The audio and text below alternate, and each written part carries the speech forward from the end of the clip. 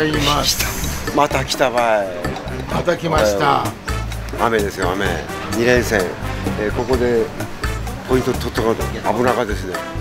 今現在19位。もうね崖っぷち。お互い。お互いね。我々このチーム崖っぷちですよ。今朝は飲みすぎてはいないですか？全然大丈夫です、はい 昨日一緒のホテルだとですね危うく行ってしまいそうになりました。危なかった。ですそう我慢した。んですくじ引きですこのゴッドハンドゴッドハンド K1 のくじを引かせていた。だきます引かせていた。だきますじゃんゼッケン39番 B の6だからなんだみたいなあとは運に任せましょう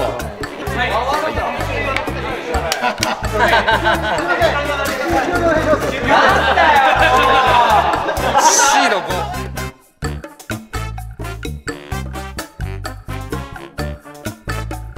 C の4ゼッケンですコース的にですね、ウォームアップを済ませて、えー、で本日はですね、えーその予選ですね、えー練習と予選が行われます。えーそれと、まあ、これ、あのいつも通りなんですけれども、えー使用できるタイヤは、えー登録タイヤのみですので、えーご確認よろしくお願いいたします。えーそれとですね、前回、つくばの時に、今回、えー、コースをこれグループごとになり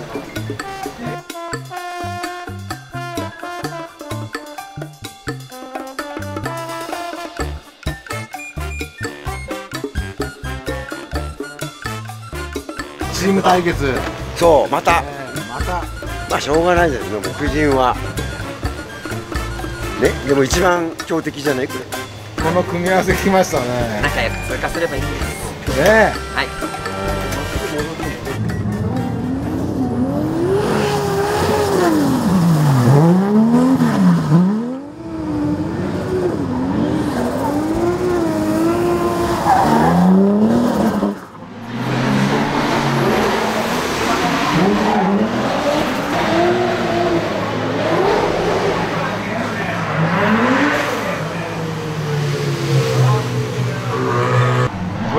さん午後降らなかったら乾くんですかね？どうなんですかね？これ降らないと乾くのでしょうね。乾くのはいいけどまだらは嫌ですね。そうね多分2本目の練習がまだらですね。で三えっと、本番の予選がもしかしたらところどころにパッチが残る感じ。コンセントでも高めとくですよま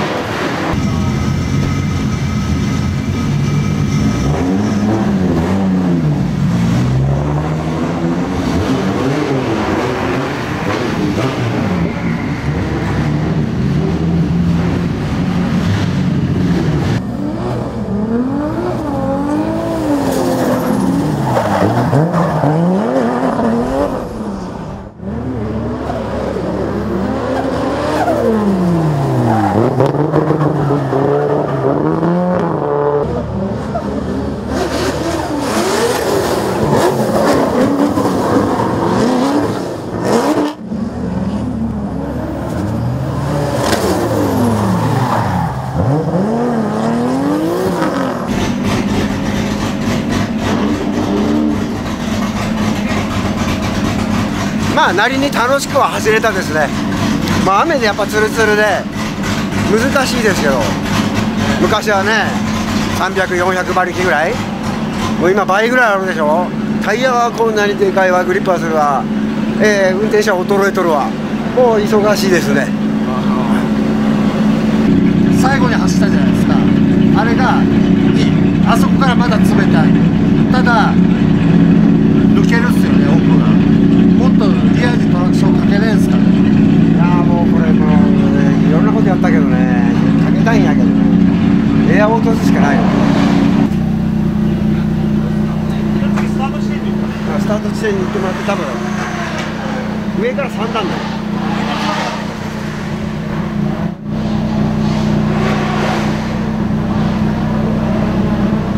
あ出やすい、野村さん柔らかくしてるんですか？今ふにゃふにゃにしました今まではカチカチやったとですけど 本日をもって柔らかく。ちょっといろいろやってみようかなと。ショックなんか触ったのは久しぶりですよ。そうですか。大体ねハマった時に回してたんですけどね。よくしようと思って回したのは8年ぶりぐらいです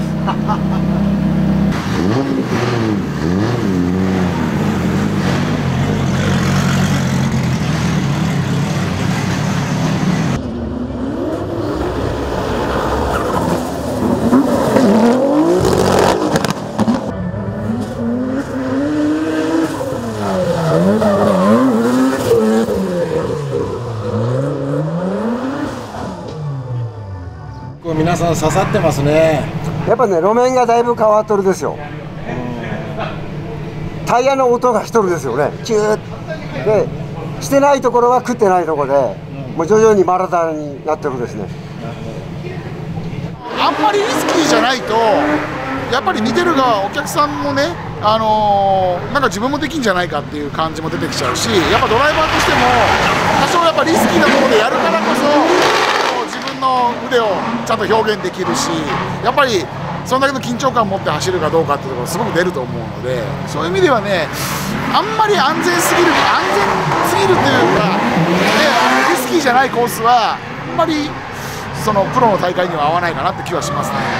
その辺でやっぱそのこの恵比寿サーキットのねこう、ドリフトの聖地としての魅力なんだなと思うんだよな。そうかもしれないですね、やっぱ外国人の方が今、すごい世界中から来てね、こうやってこの南コースってこの D1 のコースをみんなトライして、で大体ぶつかるんですけど、でも多分そのやっぱり難しかったぜっていうのを持ち帰ってくれるので、またそれで世界で広まって、やっぱりその恵比寿の D1 っていうのが、そのやっぱ D1 ドライバーってすごいなっていうのが世界中に広まってるのかなとは思ってますけどね。そうですね、えー結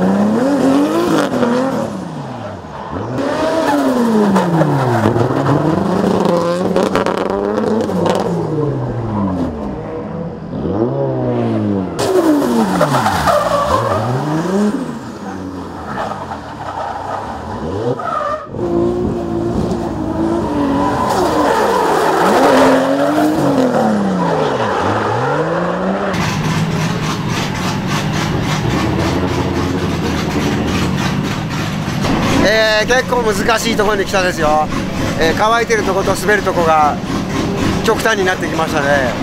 目で見ては濡れてるっぽいですけど実際走ると乾いとるんですよ。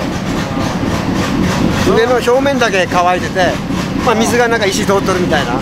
そこがまだらにあって煙が出るところがあったり滑るところあったり。まあでも乾くとでしょうね。もう一つは、足の柔らかさ、どうでした？まあでも普通には走れたので、まあ、このままみんなの言うことを最後は聞こうかなと。はい。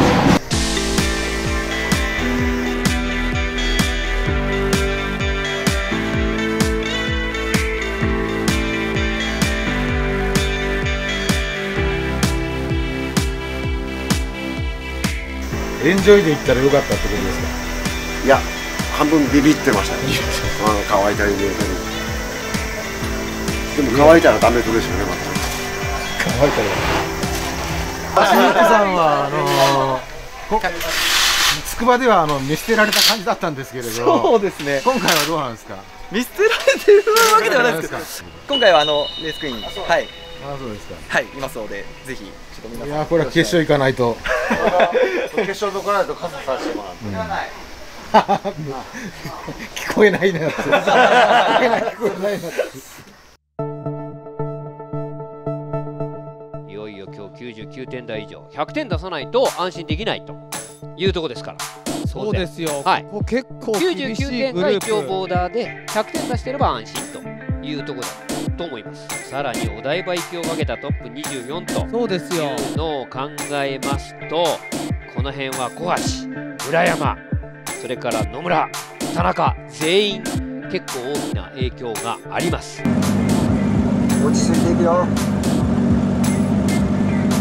カーナンバー3野村健。さあ前線筑波も通ってきた。現在ランキング19位というところ。この2戦次第でもちろん最終お台場行きが見えてくる。さあどうでしょうか大ベテラン野村健の1本目。うっといい状態。ちょっとぶらついたとこから一気に角度つける。さあ振りました状態。そして角度をつけた状態からちょっとここで修正が入った。3セクターの修正そして折り返し。そして今フィニッシュかなり思い切って飛び出してきたところから着地したところでちょっと戻りました？直人さん今。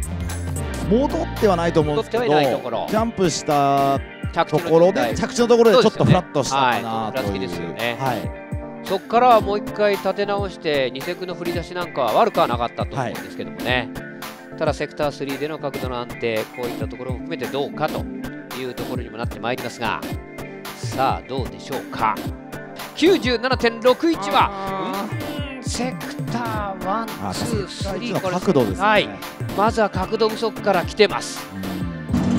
練習の時の方が良かったな。107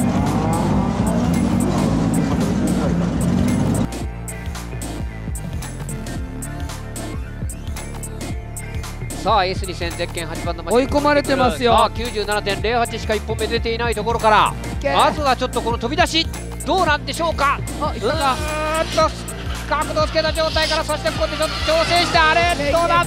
ああ足りない足りない足りない。ちょっと沈速気味から調整してかなり小さいところを回ってったあー98.43あギリギリ。ギリギリのところ。ギリギリだ。やっぱり低いのはセクター1でもやっぱりね角度ないですよセクター1直さん。そうですね。はい、はい。あれではちょっと24点台24.1角度不足が出てます。角度をつけて早く出てこないといけない。そうですね。ね。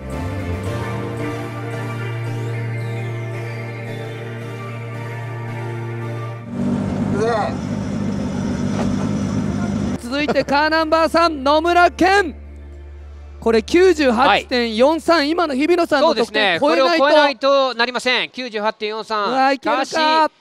おそらくまとめきれればまずはセクター1ここが非常に大きなところだ。ここをきっちり乗り越えてくれば98点後半というところどうでしょうか。おどうだ？なんとかギリギリ持ちこたえて。どうだ？ずーっと振り込みがあったかどうか。振りました状態のセクター2この辺が微妙なところになってった。かなり角度をつけてセクター1が入ってきた敗したよ。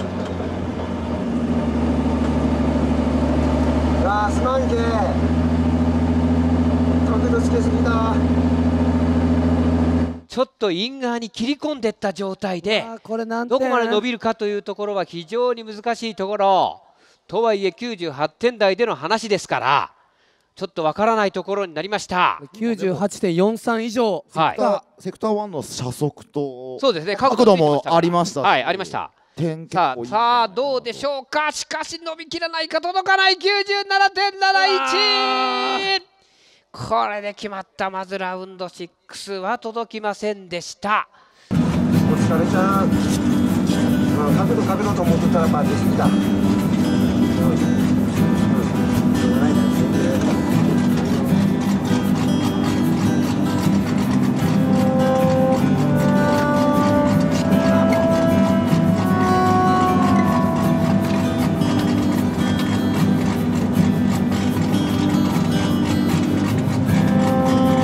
決定上位4名。田中聖美トップ。100.03、2番手に、えー、小橋正則99.91、3番手に村山智弘99.00、4番手が日比野哲也かろうじて食い込んで98.43というところになりました。